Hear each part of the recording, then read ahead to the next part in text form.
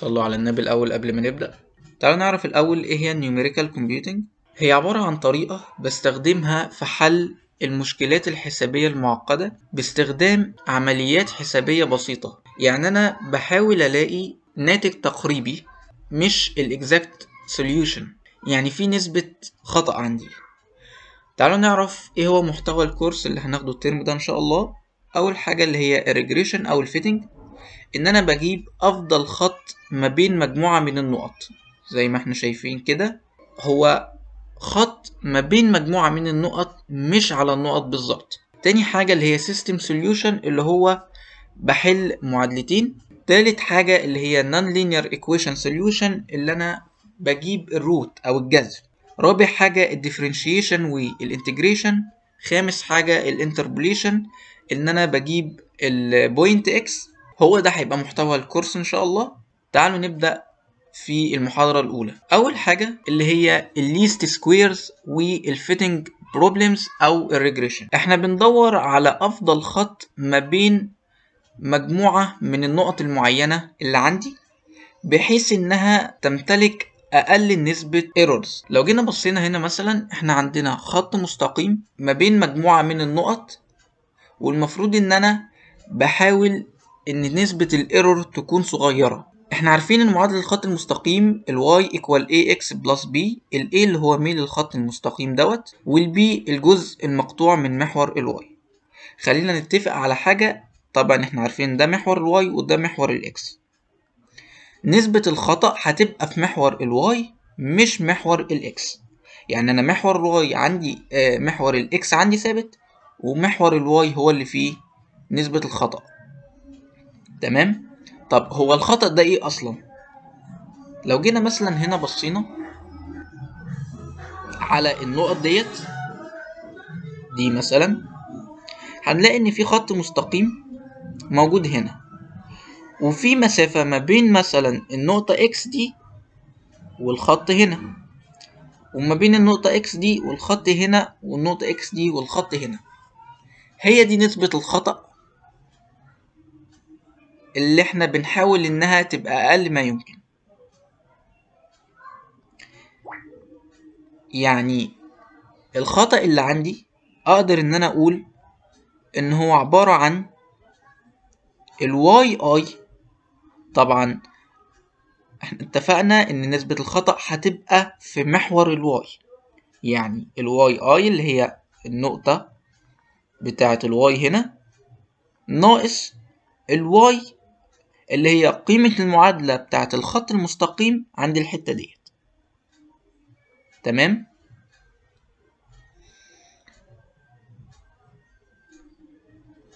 وعشان إحنا مش هيفرق معانا أصلا إذا كانت المسافة دي موجب أو سالب فهناخد قيمة absolute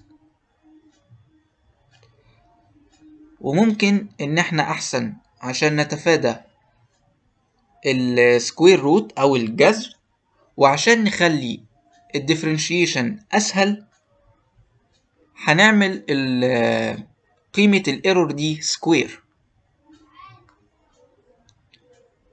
لو جينا رجعنا هنا كده مثلا كده إحنا عرفنا إيه هو الخطأ أصلا. فنقدر نقول إن معادلة الخط المستقيم اللي هي ax plus b زائد نسبة الخطأ سواء كانت مثلا من فوق أو بالنسبة للنقطة دي هتبقى بال negative بس إحنا قلنا أصلا مش هتفرق معانا موجب أو سالب.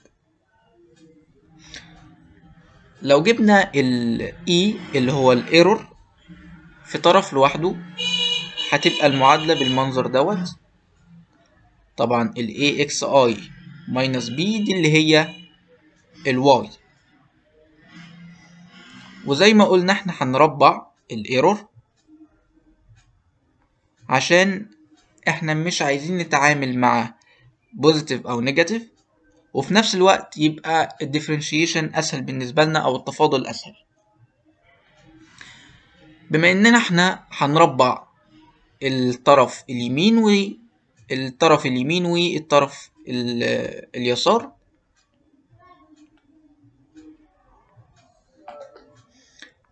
هنيجي بعد كده نعمل سميشن لكل النقط. يعني هنجيب السيجما للطرف دوت وسيجما للطرف دوت.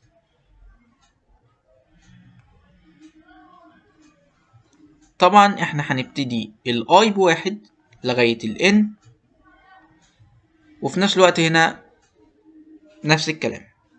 خلينا نقول ال ال i ال sigma e square ديت خلينا نشيلها دي كده خالص ونعبر عنها بال Sr ال Sr اللي هي sum of square error.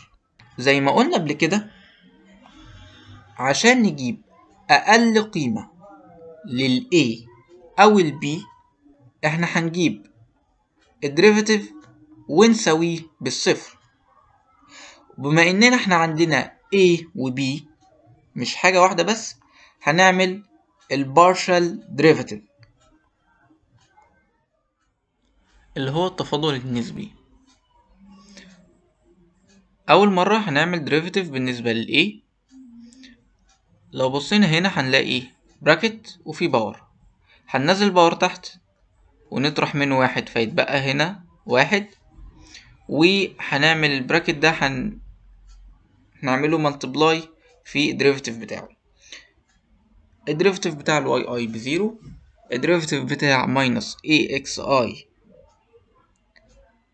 ب minus xi أهي وال minus b ب zero هناخد ال negative دوت هنضربه في الاتنين ونطلعها بره هنا كده فتبقى negative two مضروبة في سيجما الكلام دوت equal zero تبقى بالمنظر اللي إحنا شايفينه ده. لما سالب اتنين تتضرب في سيجما الكلام ده كله هيساوي الصفر. أكيد مش السالب اتنين بتساوي الصفر. يبقى سيجما الكلام ده كله هو اللي بيساوي الصفر. في طريقة أسهل إن أنا ممكن أقسم على سالب اتنين وبس. طيب نيجي هنا المعادلة بقت بالمنظر دوت. كل اللي إحنا هنعمله إن إحنا هنوزع السيجما دي على كل قيمة. هتبقى sigma yi xi وهنجيبها في طرف لوحدها تبقى بالمنظر ده. فبالتالي لما أجيب القيمتين دول في طرف لوحدهم الاتنين negative دول هيتحولوا لاتنين positive وفي نفس الوقت هوزع السيجما برضو عليهم.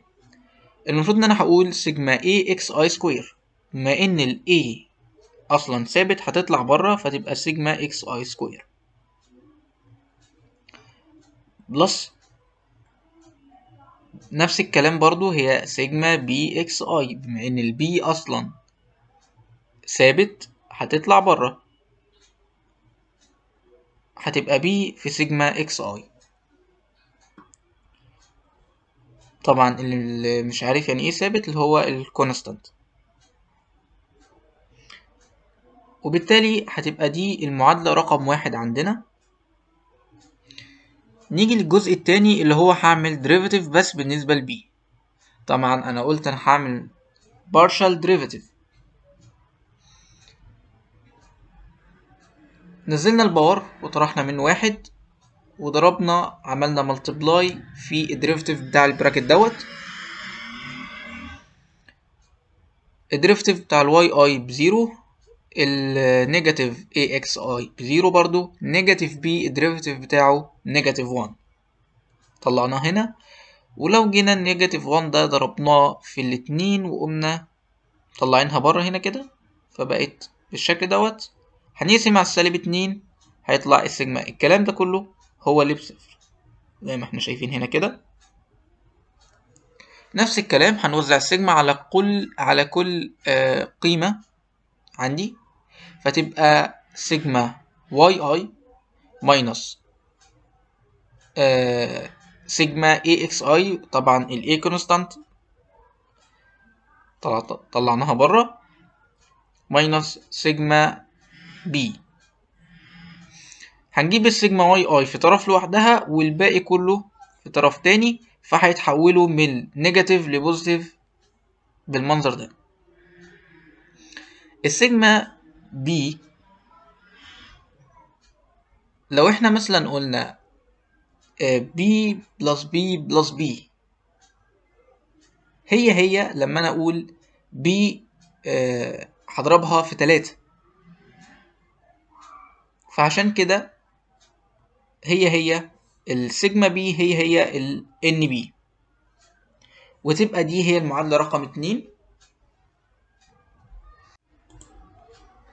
عن طريق إن أنا أعمل substitute ما بين المعادلة واحد واتنين هيطلع لي ال A بالكلام دوت وال B بالكلام ده.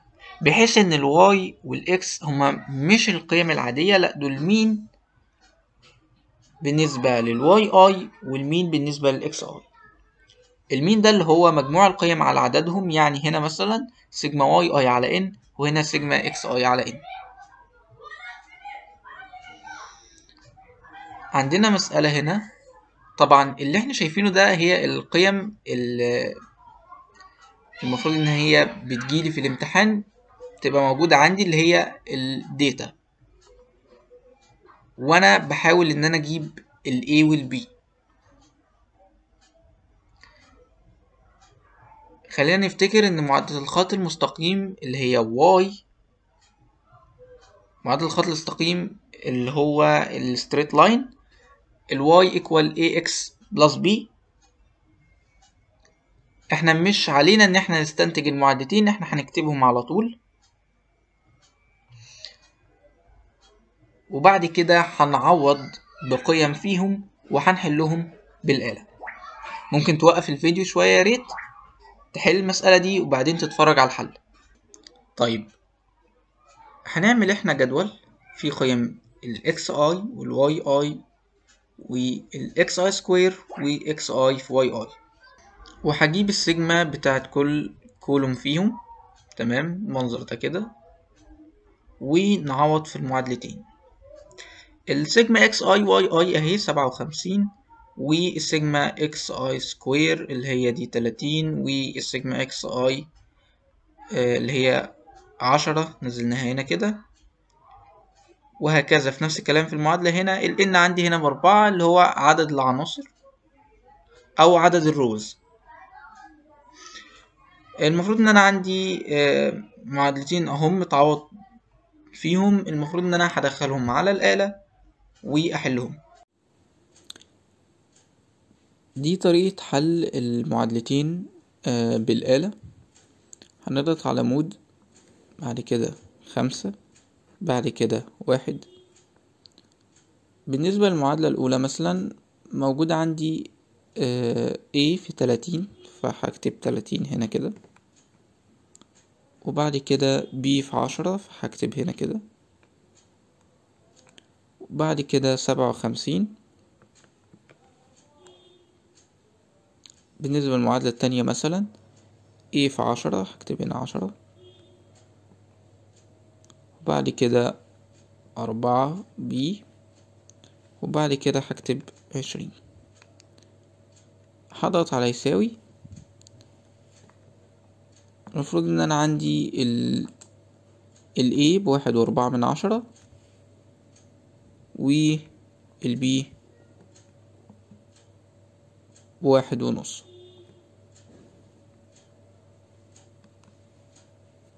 كده نبقى خلصنا المحاضرة الأولى. لو عندكم أسئلة سيبوها لنا تحت في التعليقات.